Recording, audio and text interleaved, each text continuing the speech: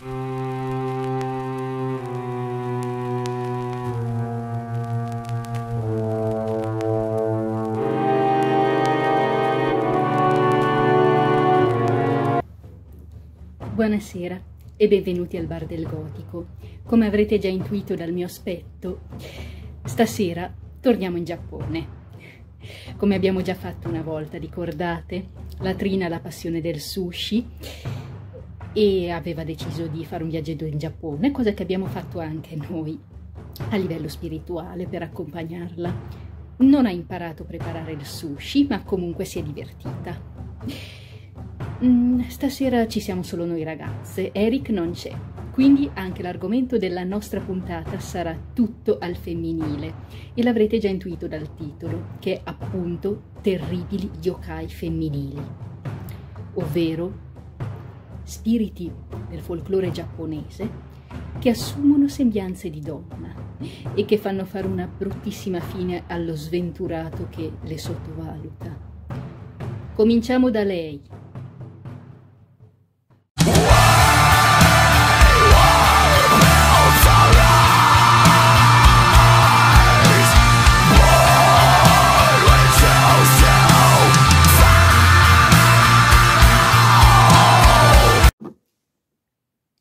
Quella che avete appena visto è la Katavaguruma, ovvero carro con una sola ruota.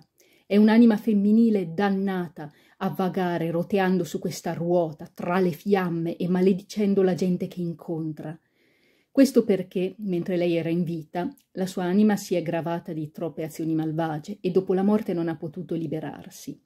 Bisogna notare che la ruota è un simbolo molto forte, perché il mozzo della ruota rappresenta la disciplina, i raggi sono le vie della saggezza, mm, il cerchio è l'unità di tutte le cose e il moto rotatorio indica il ciclo delle reincarnazioni. È avvolta dalle fiamme, maledice la gente, praticamente è uguale a Erika quando si arrabbia. Latrina, guarda che ti si sente benissimo da qui, eh? Ah, facciamo così. Visto che hai tanta voglia di scherzare, vediamo se ridi ancora dopo aver visto questo.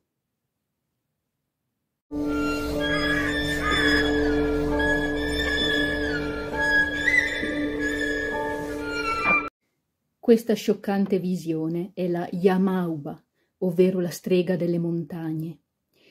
Sembrerebbe una vecchietta innocua e spesso offre ospitalità ai viandanti, ma nottetempo, mentre sono addormentati, li uccide e ne fa il proprio prossimo pasto. Eh, praticamente è un pochino come la trina. Quando vi invita a cena fate attenzione perché non saprete mai se sarete convitati o vivande. Va bene, va bene. Mi hai restituito pan per focaccia. Allora, restando in tema risate, beccati questa bella storia.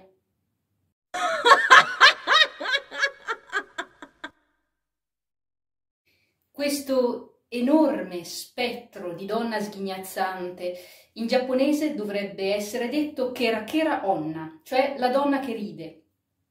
È il fantasma di una prostituta di mezza età Beh, in passato la condizione delle prostitute nei bordelli giapponesi era insostenibile. Avevano orari di lavoro insopportabili, prolungatissimi, mm, subivano maltrattamenti sia dal tenutario del bordello che dai loro stessi clienti. La loro vita media era di poco più di vent'anni. Quando qualcuna di loro riusciva a raggiungere i 40 i 45 anni, veniva vista come una specie di fenomeno, una creatura potentissima e anche dopo la sua morte si pensava che in qualche modo la sua presenza si facesse ancora sentire nei vicoli dei quartieri di piacere. E che cosa faceva questa Kera Kera Onna? Beh, essenzialmente eh, continuava a danzare e cantare, mm, imitando pateticamente eh, il mestiere che aveva esercitato in vita e che l'aveva condotta a una vita di stenti. La sua risata prendeva di mira i clienti dei bordelli e li perseguitava fino a farli impazzire, anche scappando non avrebbero potuto sottrarsi a questo suono terrificante. E fra l'altro lei appariva enorme, da, mm, al di sopra dei tetti dei bordelli, col volto bianchissimo e la bocca dal rossetto violento, un'apparizione agghiacciante che faceva scontare la propria penosa esistenza a tutti coloro che si erano approfittati di lei. Sarà un paradosso, ma è proprio in questa storia che non c'è davvero niente da ridere. Passiamo al prossimo argomento. Stavolta non parleremo di una risata, ma di un sorriso. E di un sorriso per il quale non c'è alcunché da rallegrarsi.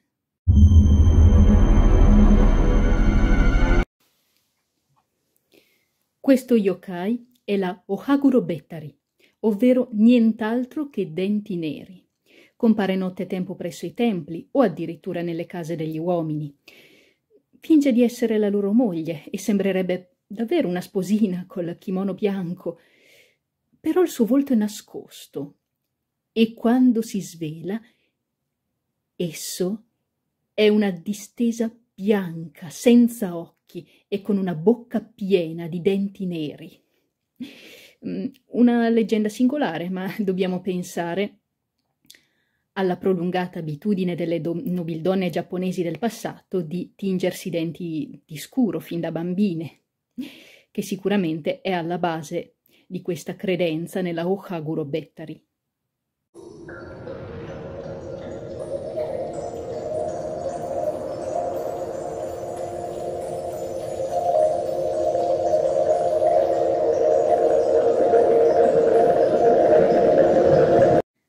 L'incontro con questo yokai, ancor più che quello con tutti gli altri, è un incontro letteralmente agghiacciante, perché stiamo parlando della Yuki Onna, ovvero la donna di ghiaccio.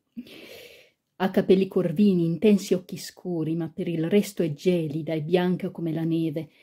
Vive sulle montagne e quando uno sventurato viandante vi si perde durante le tempeste di neve, lei risucchia il suo spirito, del quale si nutre, e lo sventurato si trasforma in un povero corpo congelato. Ma contrariamente a quanto potremmo pensare non è del tutto senza cuore. A volte si innamora e si sposa felicemente, però le viene un po' difficile nascondere la propria natura ultraterrena, visto che non invecchia mai e soprattutto non sopporta il calore in alcuna forma.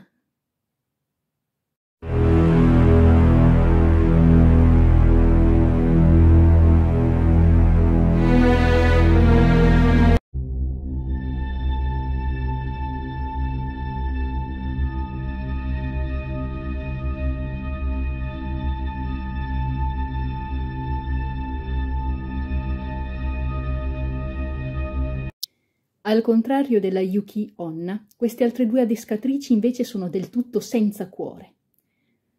Una è la Hari Onago, ovvero la donna degli uncini.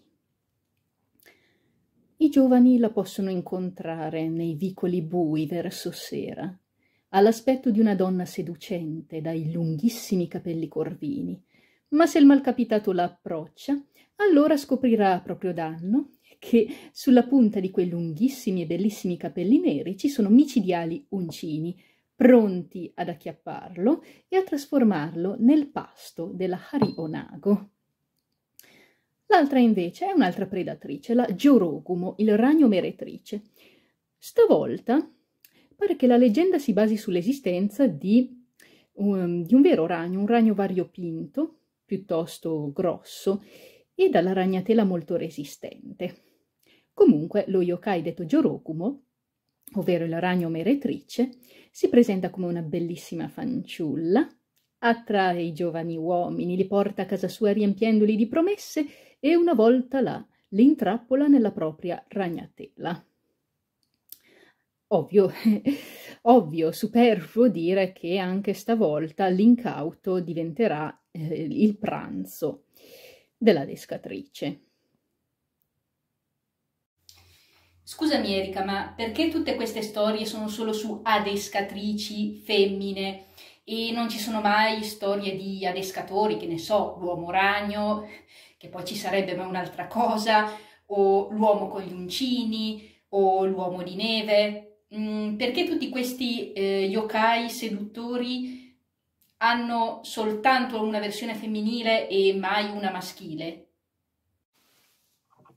Beh, Latrina, e che ne so io, dovresti chiederlo a un vero giapponese. Io non sono una vera giapponese, anzi chiedo scusa ai giapponesi, mm, casomai ce ne fosse qualcuno che ci sta guardando. Non so, avrei una mia ipotesi. Può essere che le ragazze non avessero bisogno di questi avvertimenti perché di solito le brave ragazze non andavano in giro da sole e men che meno la sera, mentre invece, mentre invece pardon, i giovanotti avevano un po' più di libertà e quindi c'era il rischio che facessero qualche sciocchezza.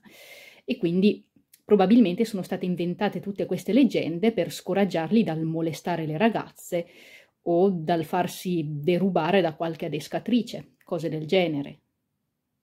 Meritano invece un discorso a parte i marinai e i pescatori, ovvero categorie di uomini che erano professionalmente a rischio di scomparsa, e anche sulle loro misteriose e tragiche scomparse sono fiorite leggende che riguardano irresistibili e terribili spiriti femminili.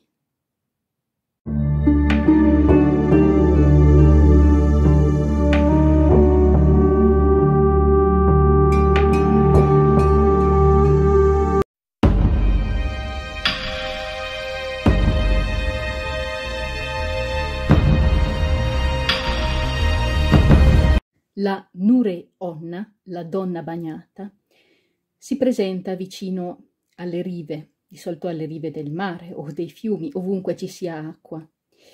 Può assumere diversi aspetti, uno dei quali è quello di una povera donna con un bambino in braccio. Di solito approccia il malcapitato chiedendogli di tenere in braccio il bambino per un po' per permetterle di riposarsi, ma se il malcapitato le dà retta, purtroppo scopre che il bambino ha un peso insostenibile e mentre lui è lì, ehm, inchiodato dal peso del bambino, la Nure Onna si rivela essere una terribile donna serpente che gli succhierà il sangue con la lingua. Invece l'altra è la Iso Onna, la donna delle coste.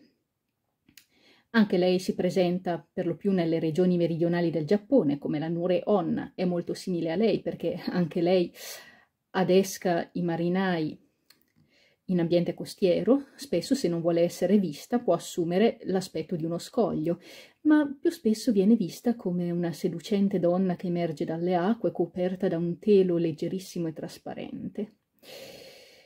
Se qualcuno però si rivolge a lei, scoprirà a proprie spese che lei è un terribile vampiro che gli succhierà il sangue coi propri capelli. Se le chiacchiere del nostro bar vi hanno appassionato o incuriosito, abbiamo un'ottima lettura da consigliarvi per approfondire. È questo libro. Yokai, la parata notturna dei cento demoni. Dovreste trovarlo facilmente, soprattutto su Amazon. È ricco di notizie e di tavole illustrate. Buona esplorazione nelle tenebre del sollevante. Buona serata e mi raccomando, se andate in Giappone, cercate di non vedere fantasmi dappertutto.